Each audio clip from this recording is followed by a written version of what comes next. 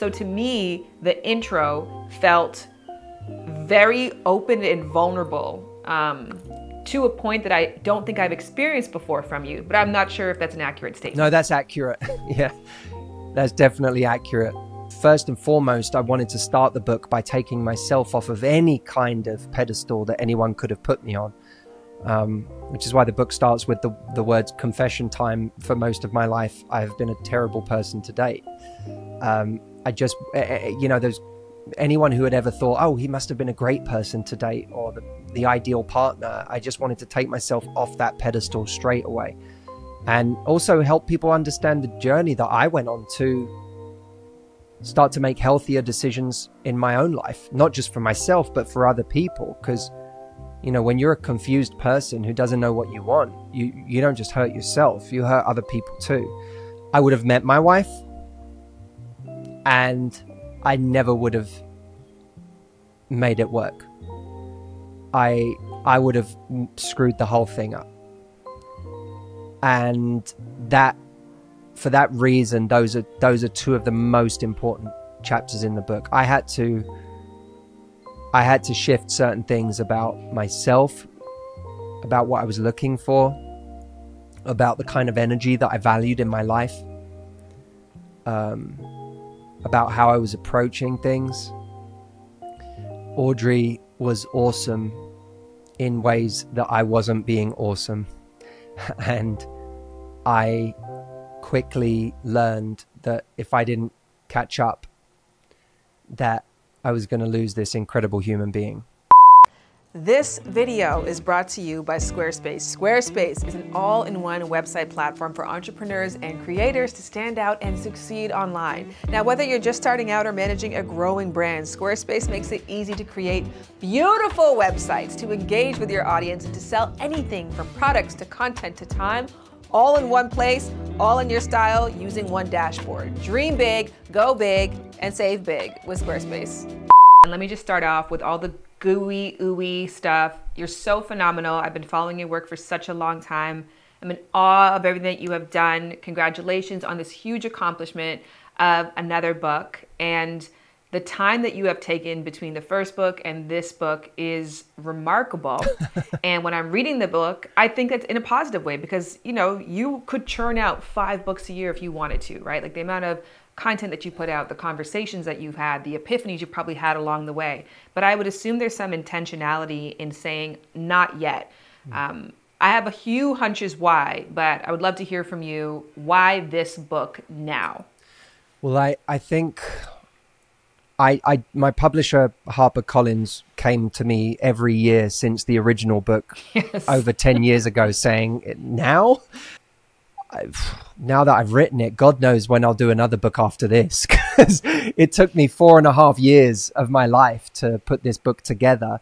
Um, but I, I started to see, it was very clear to me that something needed to be addressed with people in their love lives. And one of those things was the dissatisfaction that so many of us feel in never finding what we really want or what we're looking for. The chronic pain of loneliness that sets in when we really want to find love and it's nowhere to be found. Um, I wanted to talk about the really hard side of looking for love that I don't think gets talked about enough. It's interesting because I'm accustomed to, and you even addressed this in the intro, you know, we're accustomed to the five ways to, you know, formula. I'm accustomed to the here's what to text if um, approach that you take with your work. Whereas this felt more nuanced and maybe some people want you to grab them by the collar and say, say this, do this, set this as your standard, expect that. Where I felt like there was a lot more onus and empowerment on the reader. Well, I, a big shift in the approach was away from tactics and towards real standards. There's a big difference between tactics and standards. You know, sta- tactics are what we employ to try to get a certain result. And if we don't get the result we want, then we just try a new tactic. And standards remain the same no matter whether we get the result we want or not, because standards are who we are. For so many of us, the impulse is to lower our standards right now because it feels so hard out there. When an inter- when our own internal culture of anxiety and fear that it's never going to happen for us meets an external dating culture of people taking what they can get while giving the minimum possible investment, it creates a recipe for us lowering our standards. It creates a recipe for us accepting less than we de- deserve or want. And it makes us lower our standards at precisely the time where we should be raising them. So I wanted to talk about some of those instincts we have to lower our standards and help people help train people to having standards, which is for a lot of people, it feels really counterintuitive. It feels really counterintuitive if someone has not texted you for two weeks after you were having a great time talking with them every day. When that person texts you out of nowhere and says, What are you up to? It feels like I I just want to text them back. I'm just grateful they reached out. I'm just happy that they that they're still thinking of me. And it also, when people do try to have standards in those situations, one of the ways that we often get it wrong is we think that if I feign indifference or play it cool, that's my way of having standards because I'm like not giving too much. But the problem is, all it does is mean that someone doesn't understand our intentions. And by not calling someone out on the behavior, we approve the behavior and we cement it now they think it's okay to disappear for two weeks and just come back whenever they want, and it's not going to be met with any consequences. So I, I in this book, I help train new instincts that can actually get us much more of what we want while also allowing us to be a much more authentic, vulnerable, and human version of ourselves. Are you aware that the S word is controversial? Um, are you familiar with Kevin Samuels by chance? No, and I, I I'm so fascinated about why the S word is controversial. And that's just the interesting factor of, you know, cross-cultural dynamics because Kevin Samuels is someone who rose to mass amounts of fame in the relationship talk space during the pandemic. And his major talking point that got people so fired up and I think made many men feel heard is he was attacking women's standards and basically saying wow, that yeah. women have been allowed to run unchecked with these really high standards and they're not actually up to par with what they're seeking. And so he had a very, um, he got a lot of notoriety for humbling women. So I thought it was really fascinating because, well, I'll get your response to that and then I'll reflect on that a bit more with you. Well, that to me, I, I think I do know who you're referring to. Um, and that to me doesn't make standards a dirty word it it, what it means is we often have high standards around the wrong things. I I speak to people all the time who say I can never meet anyone. I struggle because I have such high standards. And then when I dig a little deeper, they'll tell me that they've been seeing this on and off person giving them their time and their energy and intimacy for the last 2 years of their life. And when I ask about this person, this person treats them like crap, is inconsistent, doesn't want a relationship, has zero intentionality, picks them up and puts them down whenever they want, doesn't value them. And if you ask, why do you like this person? they'll be like, oh, there's just this, you know, I just feel so much chemistry with them and I feel that there's something about them. I, I find them really attractive. And, you know, they start describing who they are as a person. They make a lot of money. It could be that. Sorry to interrupt, but I am here to share how Squarespace can power your next big idea. You can start a completely personalized, gorgeous website with the new guided design system, Squarespace Blueprint AI. First, you choose a professionally curated layout and styling options to build a unique online presence from the ground up, tailored to your business, and optimized for every device, obviously. And after you're done designing, launch, then get discovered fast with integrated optimized SEO tools so you show up more often to the people you want to be in front of. And you're selling products, content, a service, or your time, make checkout seamless for your customers by accepting credit cards, PayPal, Apple Pay, and in eligible countries, you can give your customers the option to buy now and pay later with Afterpay and ClearPay. And if you need help with language for your site, for your mailing list, or heck, even your invoices, Squarespace AI Kickstart has your back. Explain what your site is about, choose your tone, provide guidelines on length, and then boom. And speaking of boom, go peek around on a two-week free trial, no credit card required at squarespace.com slash shanboody. And when you are ready to sign up after that, get 10% off a website or domain at squarespace.com slash shanboody. Now back to the video. So what you really mean is you have really high standards for how attractive someone is in their facial symmetry or how they dress or how charismatic they are. You have super high standards for charisma, but absolutely no standards for kindness. Absolutely no standards for how someone treats you. No standards for someone who's consistent or loyal or values you. This idea of standards is often very a la carte. And so I think what we all have to do is incumbent on all of us, frankly, if we want to be happy, to start saying, do I have high standards for the things that really matter? Because the people that I work with a lot of the time and the, what I'm seeing out there in general is people have high standards for things that don't matter and no standards for things that do matter. It sounds like a cultural commentary as well. Do you hear that? That some of that almost seems like a lot of what America values as well? Yes, I think that's probably true. I think that, in general, in the West, I think not just America, I think there is just a, um, we, we are taught very often to value the wrong things. I mean, look, I live in Los Angeles. This is the the the mecca of people valuing the wrong things. it, you know, it's people who can't stop working. It never enough never enough money, never enough success, never enough fame, never enough followers. It, it, you know, there's a kind of disease of never enough that, you know, same with contacts, never enough contacts. Just keep trying to collect people all the time while having no real friendships.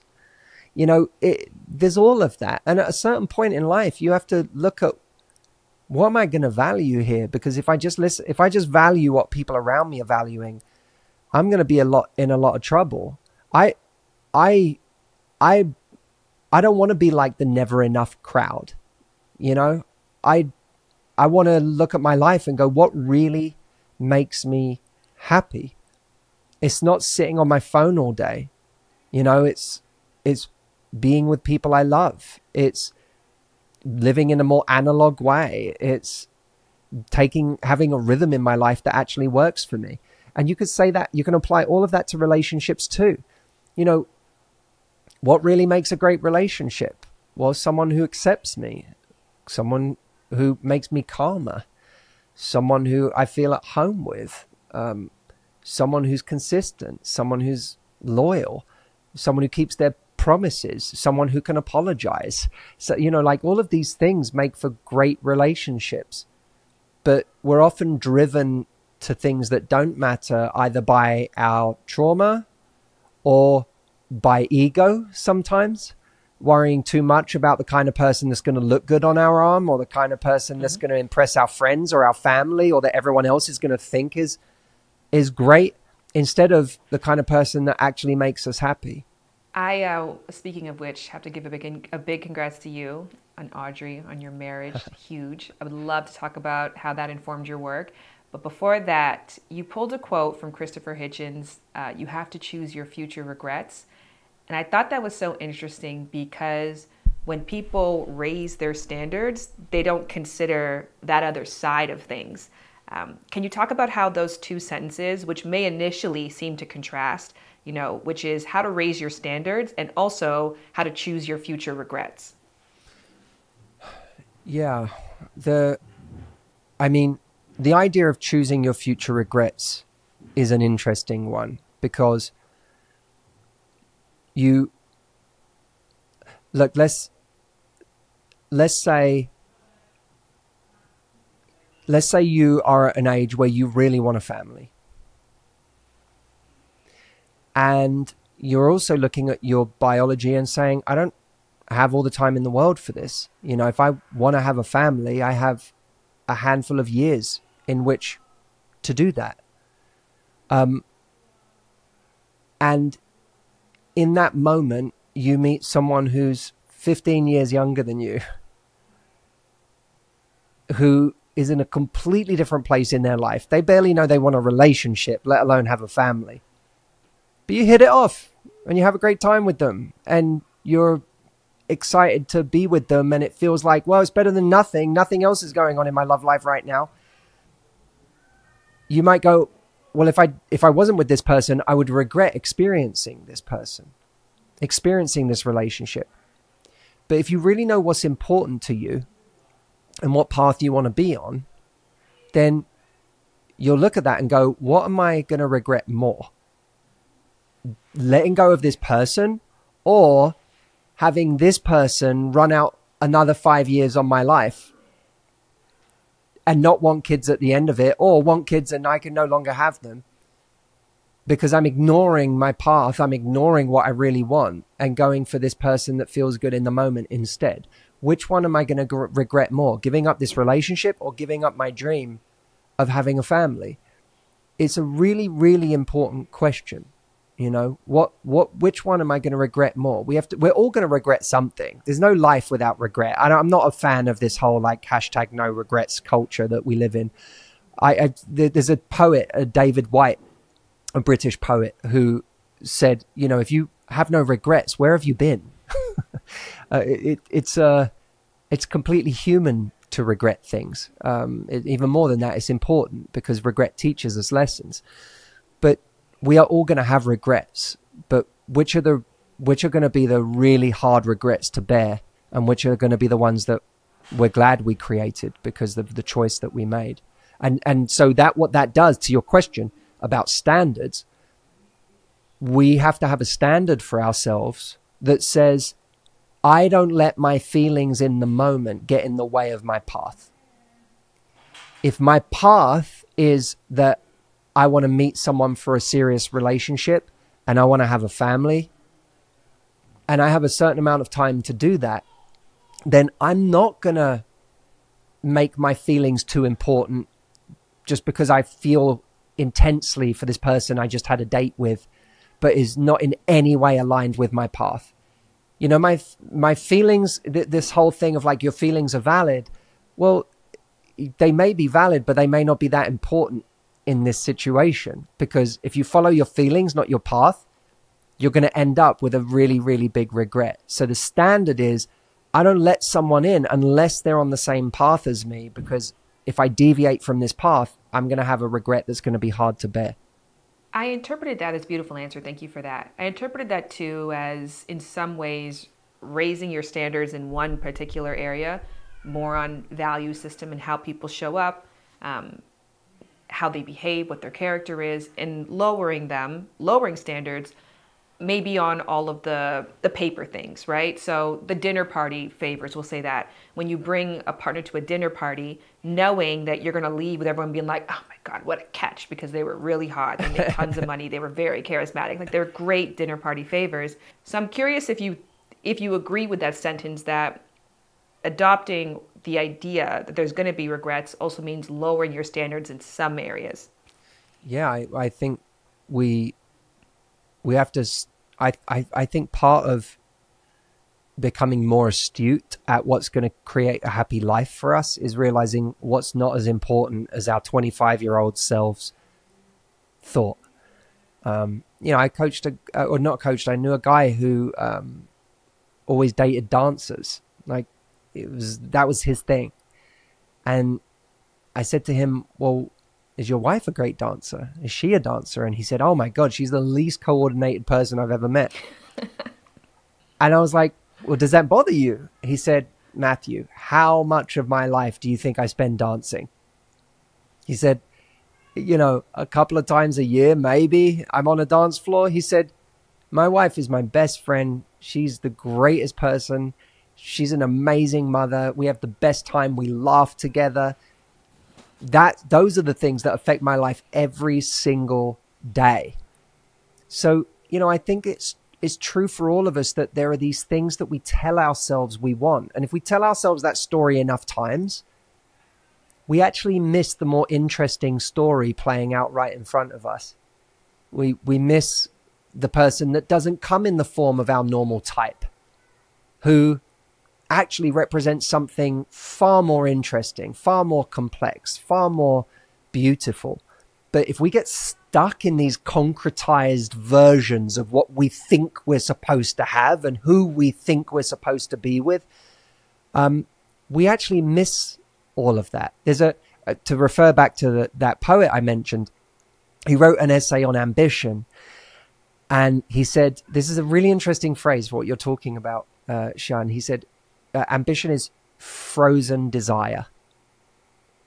And that phrase is really interesting because f- what he says is ambition is what we have when we think we know what's best for us, when we think mm. we know what's going to make us the happiest, we make all these plans about where we're going to end up in life and what country and how much money we're going to make and who who we're going to spend our lives with and and life is far more interesting the ways you're going to feel joy and the ways you're going to find happiness and the ways that you're going to experience beauty are going to be so much more interesting than your ambitions ever made out um, but I do think it's worth us starting from a position of saying, what am I going to value today that maybe I didn't value enough in past relationships. And by not valuing it, it really, really burned me.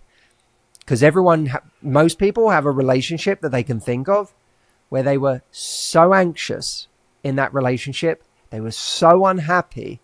And while they were in it, they kept telling themselves, I'll never be okay without this person.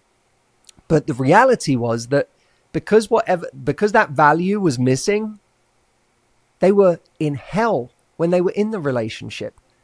So we've most of us have got evidence for the fact that even if we get someone we think is super attractive, if we're missing certain key elements, we're miserable. And if you know that, then at the very least, when you go out into your love life today, you can make those things the fundamentals that you must have because you know that not having them makes it impossible for you to be happy with someone.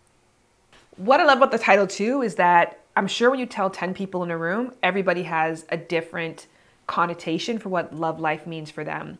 But what grounded it for me was reading the chapter index because you really are talking about life. Like, this is a book that is taking you through decades of experiences, decades of possible iterations of yourself and iterations of your love life. I was curious about the order of the chapters. Well, I I wanted to start the book by just talking about what people's experience was and validating people's experience of being single and and how hard it is when you want to find love and and it's not working out. Um, and to validate that there's nothing wrong with you if you're finding it really really hard out there and if you're finding it hard to be single. Um, i then wanted to address when we are single and we're looking some of the dangers, especially if we feel like love has been scarce, some of the dangers and the traps that we can fall into psychologically when we're out there looking for love. So, how to tell love stories. I talk about the fact that many of us value a love story. We write love stories about a person in our lives based on what a great connection we have with them. But the, that's incomplete if we're not also valuing whether they're saying yes to a relationship or whether they're actually compatible with us. There's a model that I talk about in that chapter that there's four levels of importance in a relationship. The first one is admiration. That's just you liking someone, but it doesn't mean very much because they may not know you exist. The second is mutual attraction. That's when you have a connection and chemistry with a person. And that feels like the most important thing in the world because you're like, I never meet someone I like. And then on top of it, they like me back. This feels like everything but it's not everything because if they're not saying if they're not in level three which is commitment if they're not saying yes then you really have nothing with this person. It's irrelevant how much of a great time you have when you're with them, or how you can talk for hours, or how the sex is amazing. It's kind of irrelevant because that person doesn't want what you want. So they have no value for your life in that case. And the fourth level is compatibility. And I talk about the ways that we can look at compatibility. So what a big part of the first quarter of the book is helping us reevaluate what's valuable and what's not because many of us have that part upside down, which is why we keep getting hurt. Then it moves into how to have hard conversations, how to actually show standards in an elegant way. Because it's one thing to say have standards, but what does that actually look like? When you want a relationship with someone, how do you have the conversation about what it is or where it's going in a way that feels strong and powerful and attractive? Um, and then as we get further into the book, it starts looking at why on a deeper level do we find it so hard to have these standards? You know, why why does it sound like a nice idea to have standards, but in practice, when someone we like or love comes back to us, all of those standards go out of the window and we start accepting the same bad treatment all over again. How can we build the deepest levels of confidence that underpin our standards so that our standards are something we live by no matter what. Because if you can do that, you're going to have a, a really amazing time in life and you're going to have a much, much happier love life and much more success in attracting the kind of partner you want than if you never build that confidence. Because ultimately, if you don't build that confidence, those standards are going to fall through very quickly. So, that last part, we arrive at the deepest levels of confidence. And then beyond that, the final chapter is called Happy Enough because I believe that you don't have to be happy and whole when you're on your own. You just have to be happy enough that you can say no.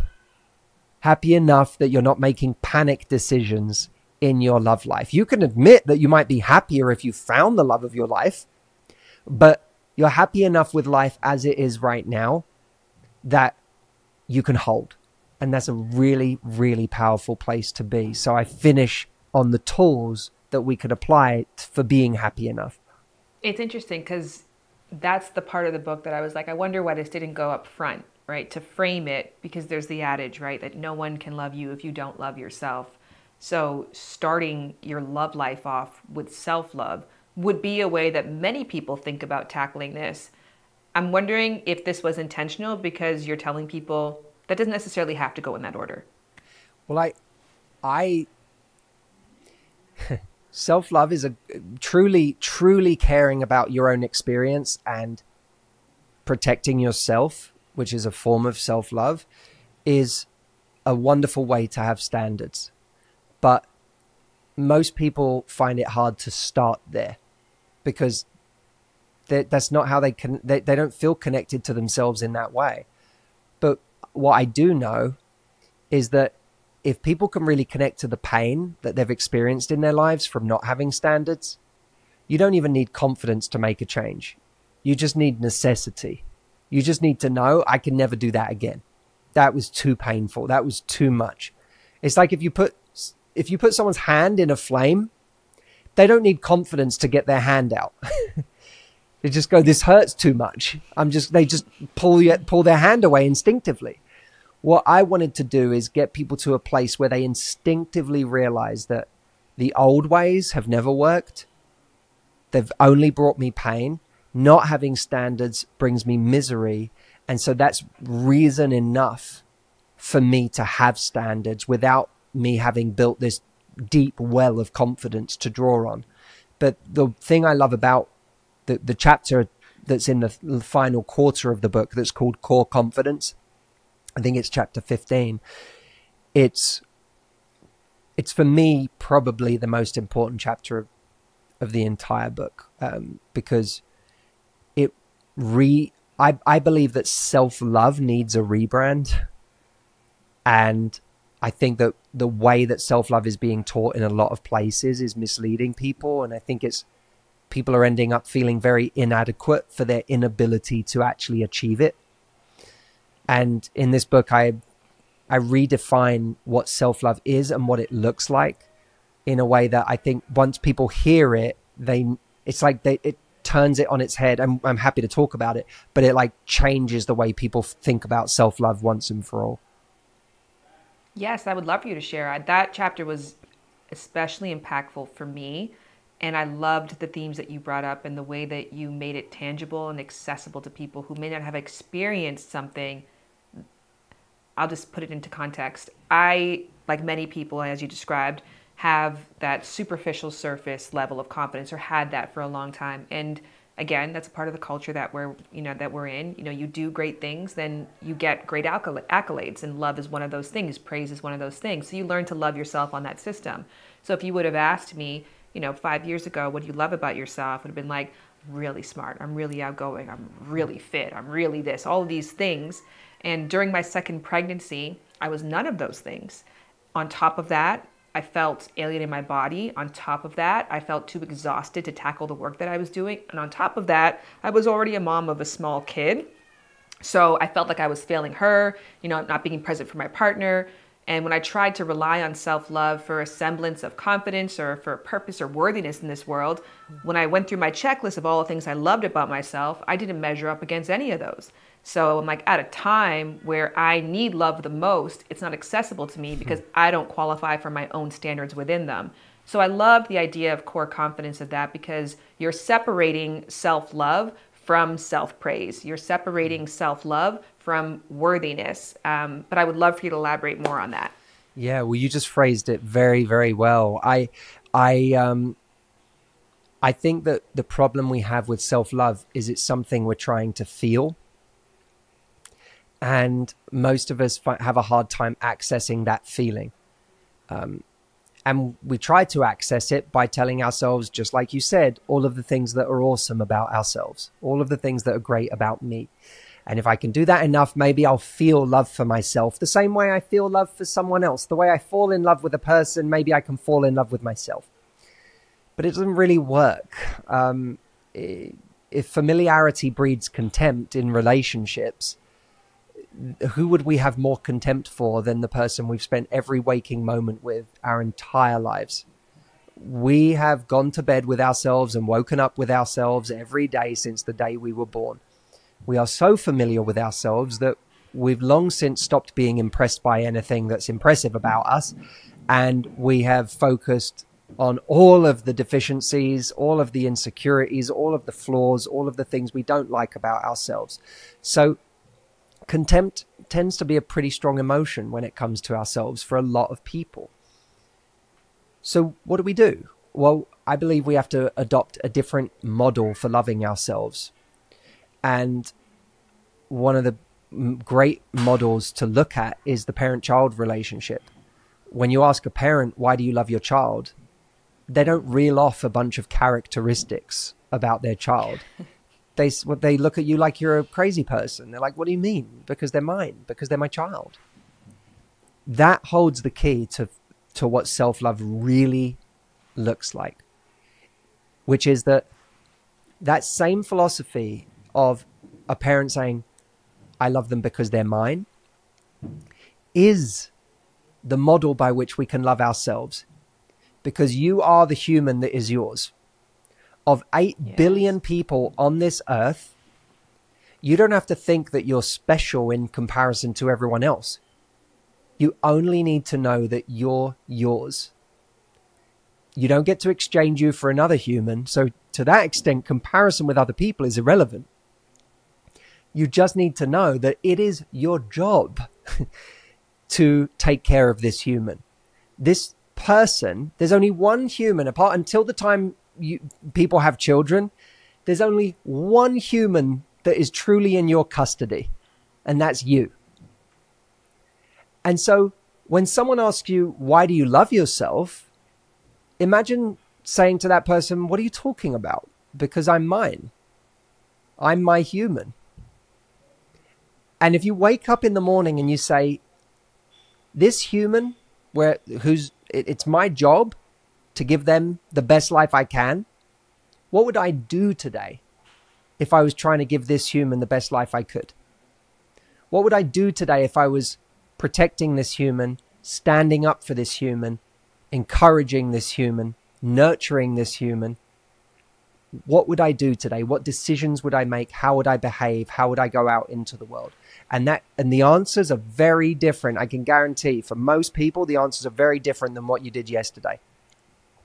Because if you if if you went to someone's house who's been treating you like crap for the last 2 years of your life and you still went over there and you still slept with them and you still gave them the time of day even though they want completely different things than you and they just use you all the time you're not protecting your human.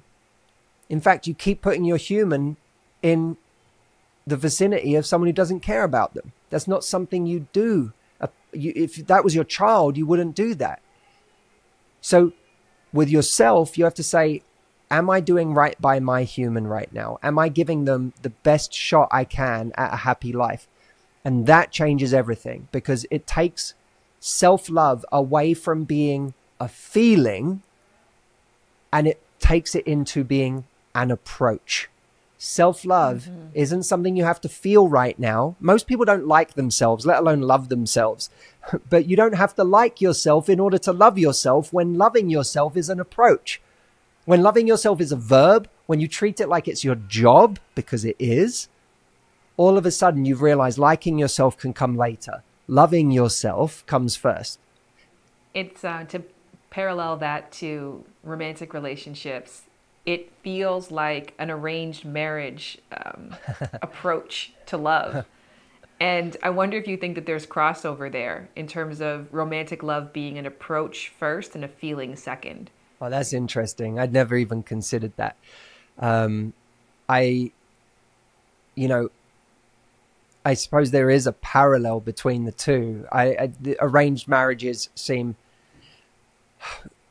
inherently problematic to me.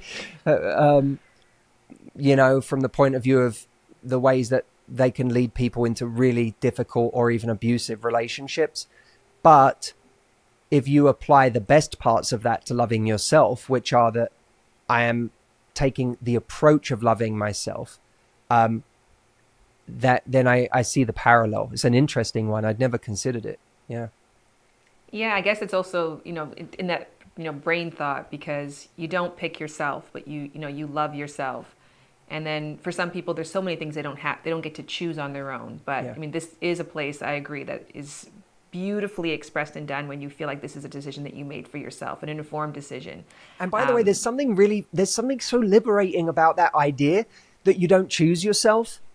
Like you didn't go to the buffet of human beings and choose a human you just got a human. and yeah. there's something so liberating about that because when you realize you just got a human and you didn't have a choice in the matter, this is the human you got. Who cares that you don't like your nose? Like, who cares that you, you wish your body shape was a bit different genetically or that you don't, you're not as smart as this person mm. over here or you're not as, like, it's all irrelevant when you realize that you didn't have a choice in the first place. It There's something yes. really liberating about that. You go, oh, I got a human. My job is just to do the best I can with this human that I got. That's it. Yeah, they talk about this with the in the psychological sense. You know, when you choose a car, and then for the next two months, all you do is look at other cars in the road, and then ask yourself why you didn't pick that one. you don't have to do that with yourself. You never had a choice. This you never had a choice in the first place. Get in and drive it, baby. Do what you can do. well, on that note, you've got you've made a really big choice recently.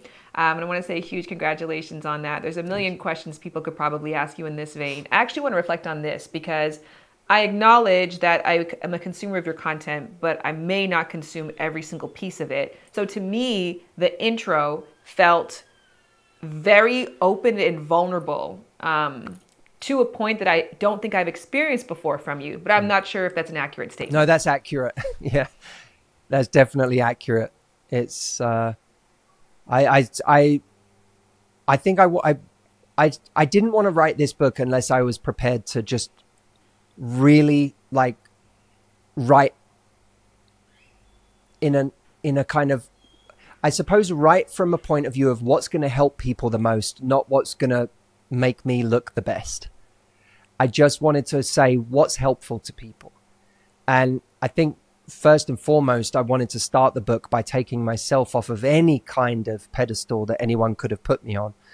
Um, which is why the book starts with the the words confession time. For most of my life, I have been a terrible person to date.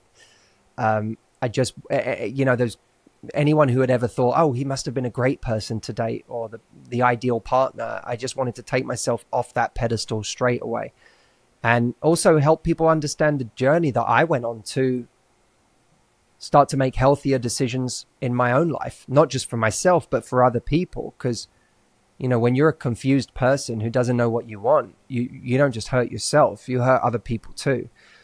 Um, and, uh, and I had to start very consciously making better decisions, making healthier decisions for myself. It's not a coincidence that because I didn't start writing this book as, as a person who got married. I got married last year.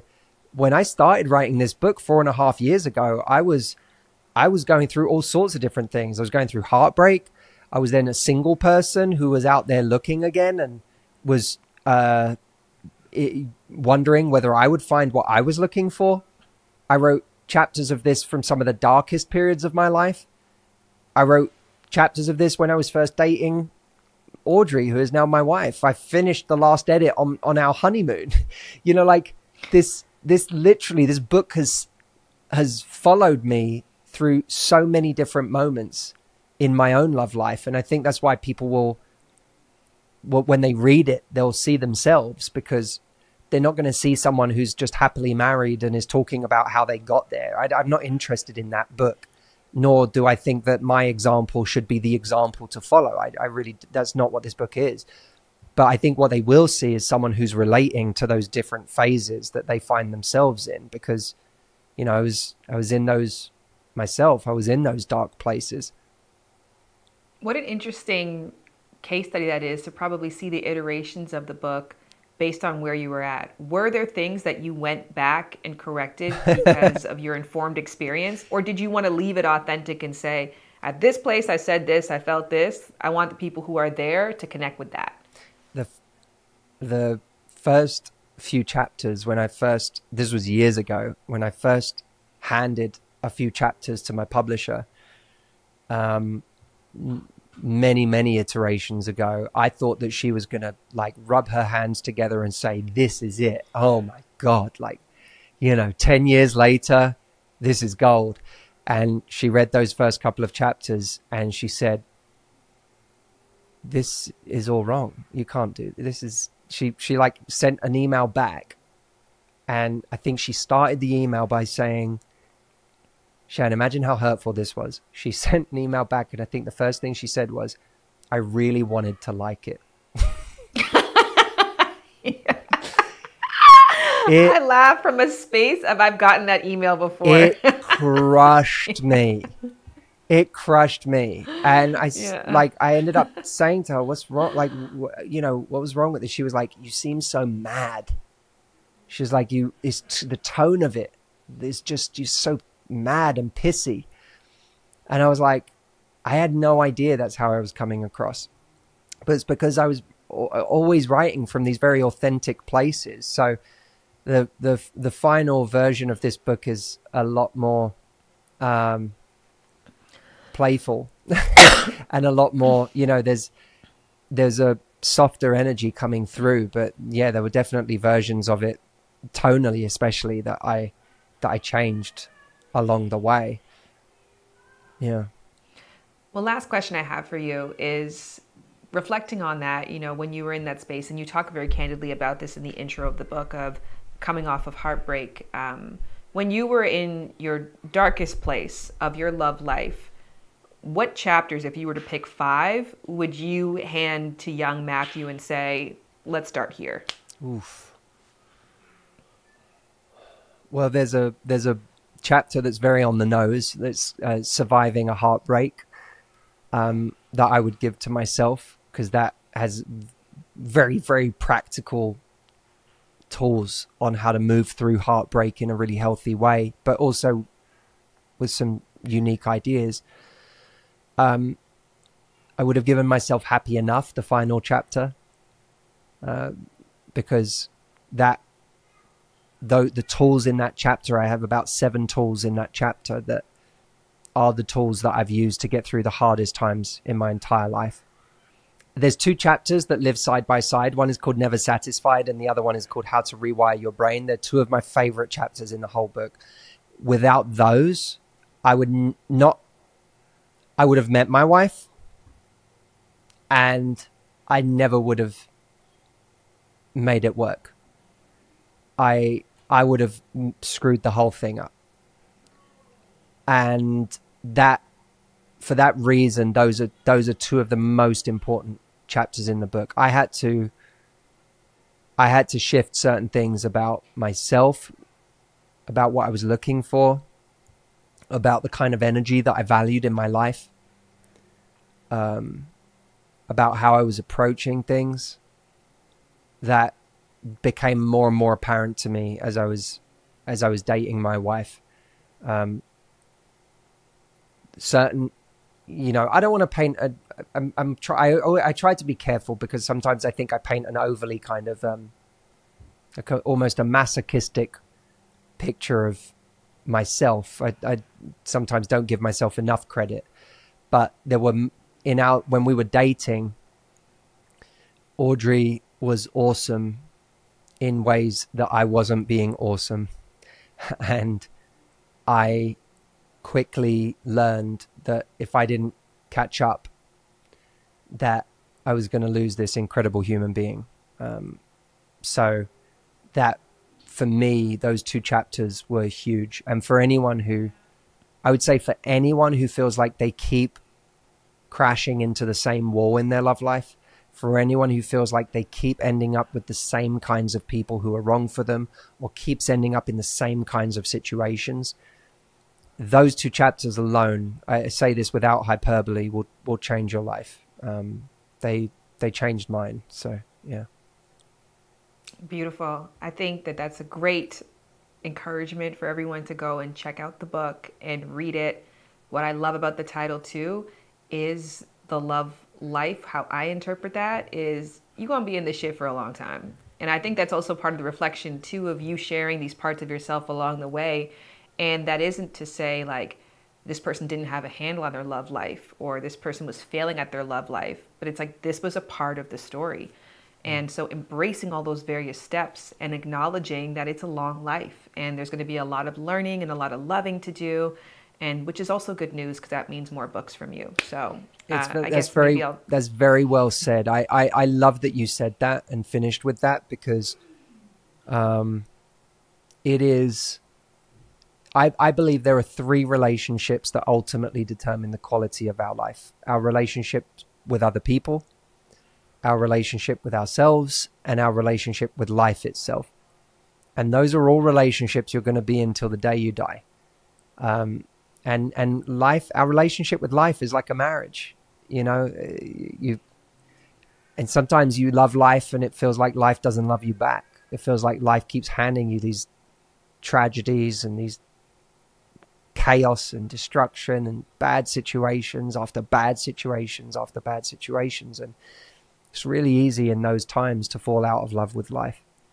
Um, but it's, uh, I, I hope this book will help people not just, you know, find their person and find the love they're looking for sooner, but I, I wrote this to give people the tools to start loving life again today, which uh, certainly makes the journey to finding love a lot easier. It means we're not deferring our living until the point where we suddenly meet our person.